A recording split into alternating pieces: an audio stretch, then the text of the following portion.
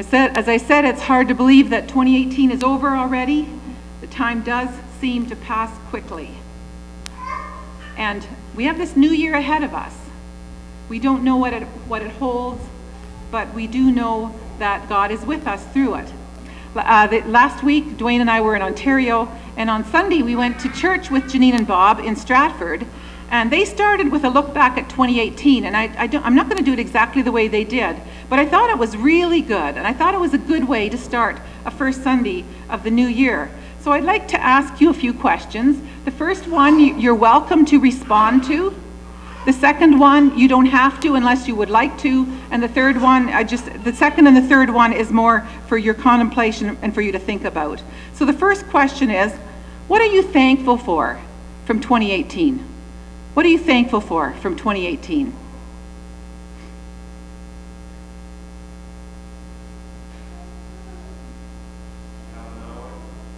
Just throw stuff out. Just throw something out. What, what are you thankful for from 2018? Health. Good. Anyone else? What are you especially thankful for? Dale, Jonathan, what are you especially thankful for this year? yes.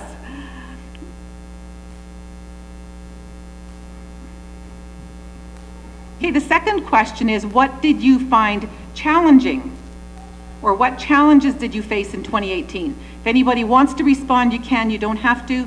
Uh, just thinking about it. What were the challenges that you faced in 2018? Potty training. I'm just going to take a, a, few moments that, that I'd, I'd like you to really think about it. What were the challenges that you faced in 2018?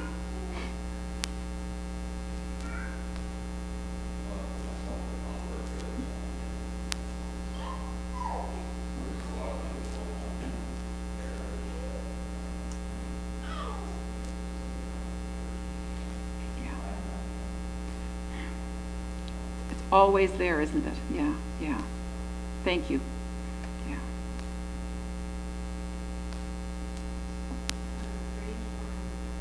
Was a strange. I thought of that as I was looking at these questions. It was, wasn't it?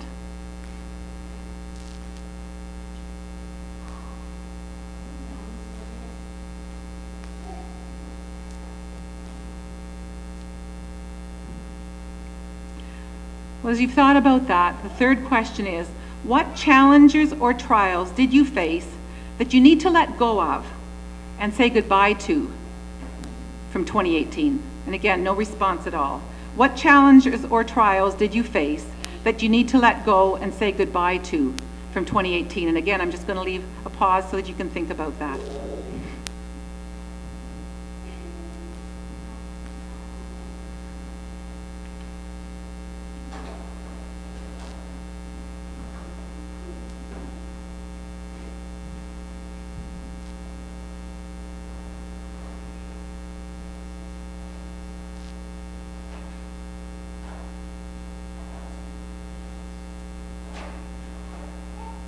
And I want to pray as we, just within the last few days, have passed from 2018 into 2019. So let's pray together. Father God, we thank you for the blessings of 2018, for babies and weddings, family and friends, for your presence with us, for providing what we need, for the joy and hope of living with you. And we give these blessings back to you as our offering of praise and thanksgiving. Lord, we are also reminded of the challenges of the past year disappointments and trials, pain and struggles, fears and failures, times that we maybe didn't feel your presence with us. And yet we know that even then you were here and that you brought us through to today. And we give you thanks for that. Help us to let go of the things you know will harm us things that could draw us away from you. Help us to give up even our desire to carry a grudge, to not forgive, to get even, our selfishness, our anger. Set us free, I pray, O God, to face this new year clean and forgiven, beloved children of God. As this new year dawns, Father, let us not be blinded by the world's darkness or consumed by paralyzing fear. May we remember that from darkness you bring forth light, from out of winter's death you give birth to life. May we remember that you are the light that gives us sight, that you are the breath that gives us life, the water that quenches our thirst. Lord God, as this new year has dawned, may we give birth to that which honors you. May we give life to what makes your goodness shine and give growth to, you, to your emerging eternal world. From the very depths of our heart, O God, we cry that your kingdom would come, that your will would be done on earth as it is in heaven. In the precious name of Jesus Christ our Lord. Amen.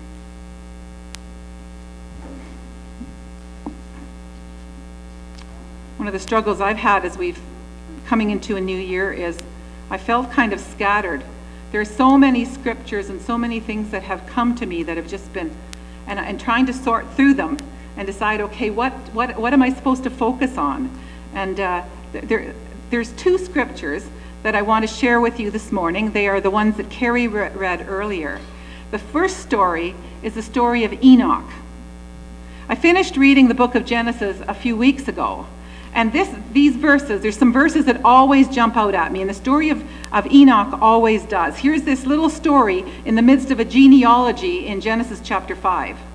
And then this past week, I read an article by David Gretzky, who has spoken here in the past, and it also caught me because it seemed to tie in. It says, When Enoch had lived 65 years, he became the father of Methuselah.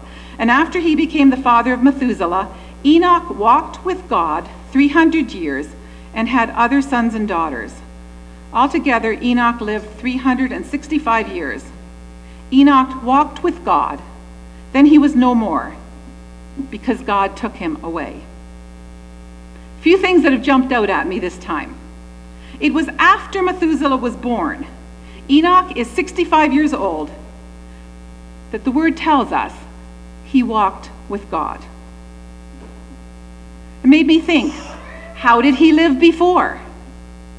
What sparked a change at age 65? And a man, I can't even remember his name, but back when I was in my early, in my late teens, early 20s, this gentleman that was into his 80s spoke at a conference and said how he, he, he wishes so bad that he could go back and do some over because he'd like to do even more for the Lord. Thought at that age, what sparked the change in Enoch at 65? Was it the birth of Methuselah? If it was, how would the birth of a son cause Enoch to have this change of heart, this conversion? And we don't know. We're not told much about Enoch. We do know that Enoch is the great grandfather of Noah. And Enoch and Noah are the only people in the Bible that it says those words that they walked with God. So I had to think, what does it mean that they walked with God? The law hadn't come yet. This is before the time of Moses. Jesus isn't there. What does it mean that they walked with God? If you read into the beginning of, of, of, Noah's story, you'll see that this was a time of great wickedness, a time of great sinfulness. The flood is coming. Well, that word walk is used here refers to a, the path that someone is on, the direction or the behavior of their life. So Enoch walks with God in God's ways. He talks with God. He's going, growing closer to God. His relationship is growing. I love the way your translation said it, Carrie. I, I don't remember the exact words, but it said about a deeper relationship with the Lord. He walked with God. Enoch saw the wickedness of the people around him, and he prophesied God's judgment against them. And in Jude, verse 14, it, uh, it, we, we see those words. Enoch is also remembered in Hebrews in the Hebrews Hall of Fame, the Hebrews Hall of Faith for his faith. It says by faith Enoch was taken from this life so that he didn't experience death. He couldn't be found because God had taken him away. For before he was taken, he was commended as one who pleased God. He was commended as one who pleased God. In Hebrews and Genesis, it speaks of God taking Enoch away. It seems that he didn't face death, that God just took him to be with him. It's quite amazing. You wonder how that happened, but again, we aren't told those details. But there's a powerful description of who Enoch is through the Genesis passage and through the Hebrews passage. He's not described as handsome or rich or smart, but he's described as one who pleased God and who faithfully walked with God for 300 years. And God honored him for his faithfulness by taking him to be with him without facing death. It's an incredible story, incredible account. Those words are the words that I desire for myself and for you as well that would define our lives for 2019. That we faithfully walk with God and that we live lives that please God. May seem simple, something we are already doing. But if you're like me, there's times that you feel you fall short way too often. It's never too late to start living faithfully with God. You're never too young, you're never too old. Enoch was 65. says he walked with God for 300 years. That's more than three times our lifetime. When I was in Ontario just last week, a friend said that he prays that he will bear more fruit for the Lord in his older years than he has up till now. And I thought, that is the desire of my heart. That's the desire of his heart. It shows that he is walking with God and he's desiring to please God more and more as he continues to walk with God, the older he gets. May we resolve, with God's help, that our words will be defined, that our lives will be defined by these words. He or she walked with God. He or she pleased God. That we may walk even closer with the Lord, one step at a time, day by day, hour by hour, walking in the ways of the Lord. Doesn't mean we're going to be sinless. We know that.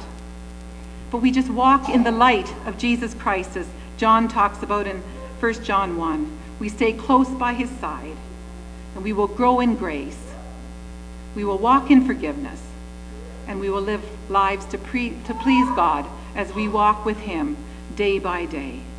May that be our prayer for 2019. The second scripture that we want to look at is Paul's request for prayer in 2 Thessalonians chapter 3. He asks the people to pray for us that the message of Jesus will make its way freely into people's hearts and lives changing them and forming them into holy and loving people who bring God's glory in the world. Where it says that it may spread rapidly, that means that, that it'll run, that it'll run with, that God's word will just run ahead.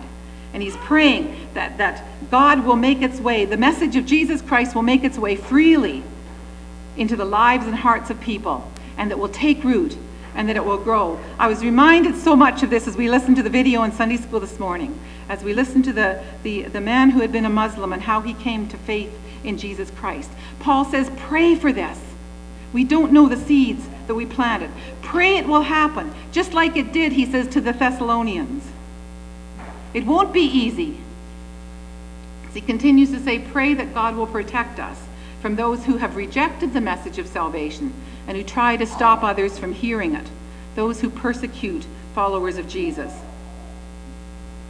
May we have a passion within our hearts to spread the good news of Jesus Christ, that many people may come to know Jesus, no matter what. Persecution and hardship aren't going to stop Paul. They didn't stop the gentleman that we heard in the video, and they shouldn't stop us as well. And one of the reasons why it shouldn't stop us is because he continues, Paul continues and he says, The Lord is faithful, and he will strengthen and protect us from the evil one. The Lord is faithful. That verse just gripped me when I, when, as I was reading the, this, uh, the, these scriptures. The Lord is faithful, and he will strengthen and protect us from the evil one. God is faithful. Let that ring in your heart. God is faithful. God is always faithful. God will strengthen us. He will protect us from evil. And prayer is a powerful, powerful thing that we are called to do. Prayer opens us up to God and to God's working in our lives and working through us. And no matter what we face, God will be with us. He will walk with us as we walk with Him. And He will protect us as we root our hearts and our lives in His love. And in those verses, Paul, Paul also says that God will give us confidence to share the good news of Jesus Christ as we walk with Him. We so often think it's we. What are the words we're going to say? How are we going to do it? We don't know what to say. But you know what? You can go with the best laid out words possible. It's the Holy Spirit, though. It's the Holy Spirit working through us. So we can stumble and we can seem to flounder in what we even share. It's the Holy Spirit that will speak through the words that we share, a simple testimony of how God has been with us. And it's the Holy Spirit who will draw people to Himself as we are there and available to share with others. Prayer is at the heart of the Christian life. And this was one of the prayers that was on Paul's heart. Pray for me that the gospel of Jesus Christ may run, that it may go forward, and that many may hear, and that many will respond. The past few years, we've prayed the same prayers together. I encourage you to keep praying those prayers the one from Psalms 25 and Psalm 63. We looked at a prayer, Paul's prayer in Colossians 1, and in Isaiah 6, Here I am, Lord, send me. This year, I encourage you to pray Paul's prayers, prayer from 2 Thessalonians 3, 1 to 5, in your own words. Maybe not exactly the way he says it, but as it fits for you. Paul said, Pray that the message of the Lord may spread rapidly and be honored so let's pray that prayer. Pray that the liberating good news of Jesus Christ may spread in our community, in our country, and around the world. Pray that it will spread rapidly. Pray for opportunities to share the good news of Jesus Christ. Pray for open doors and open hearts to hear. Pray for words to say. Pray that you have the blessing to lead someone to Jesus Christ this year. Even if you're made fun of, even if you are would say that you face uh, persecution, pray for protection and know that God is faithful, that we can trust in Him. And I would even say, pray that this prayer becomes the passion of your heart, that you can share the good news of Jesus Christ, and that people can come to know the Lord. Paul ends his prayer with, Now may the Lord direct your hearts into God's love and Christ's perseverance. We can't do it ourselves. We need the Lord. We even need the Lord to assure us of his love, that we may be even more deeply rooted and grounded in God's amazing love for us. We look at Jesus and his life, his perseverance, his example, and he is an example to us to persevere it's wonderful, wonderful, encouraging words. The gentleman in the video this morning shared how a family that was, was over 20 years who had shared, shared bits and pieces of the gospel with him. And they were frustrated because it didn't seem God was doing anything. And when he got in touch with them 20 years later, what a joy it was to hear that they were part of that. We don't know the effect that our words can have on someone as we share what Jesus has done in our lives and what he will do in the life of other people. And so I encourage you this morning that we will share that good news. But the Lord is faithful, and he will strengthen and protect you from the evil one. May the Lord direct your hearts into God's love and Christ's perseverance. I look forward to 2019 as we worship God together and as we grow in faithfulness together and as we live our lives for Jesus in this context where God has placed us. We don't know what God has in store for us in 2019, but God does. And his promise is that he will be with us at all times. Let's pray together. Holy God, at this dawn of a new year, we've gathered together to worship and listen. Listen for your voice calling us to something new. You are a God of newness and change and you call us to be continually transformed. In this season of resolve, help us to be mindful and intentional about our priorities. Help us to look to Jesus as our way, Help us to rely on the Holy Spirit. Inspire us with a vision of the world as it could be. And Lord, I pray that we that you as you send us out as your disciples, as your followers to spread the good news of Jesus Christ in our words and in the way that we act in the world, the way we, we move and live, that we will say, see changes in the lives of people around us and that people may come to know Jesus. Lord, the desire of my heart for each of us here this morning, those of us from this family of God, that we may walk with you and that we may experience you in a deeper and fuller way, that our relationship with you will grow, our love for you will grow and deepen, that our lives will be transformed as we walk with you. And Lord, as we pray and say words that maybe be, be, can be even hard for us to say because we're not even sure what that might look like. But Lord, as we pray those words, I pray that you would work within us and grant us opportunities to share the love, the forgiveness, and the freedom that is found in Jesus Christ. Lord, may that become the desire, the passion of our heart. Again, Holy Spirit, continue to move among us. Show us your ways, O Lord. Teach us your paths. Guide us in your truth. For you are God, our Savior, and our hope is in you all day long. And Lord, we anticipate what you desire to do through us in this next year. In the lives of different people here and there, in our community, and wherever we go. Lord, I thank you for the way that you have blessed us. I pray that as we go, we may be a blessing to others. And I pray for opportunities to share the love of Jesus as we go about our activities this week in our words and in our actions. In Jesus' name, amen.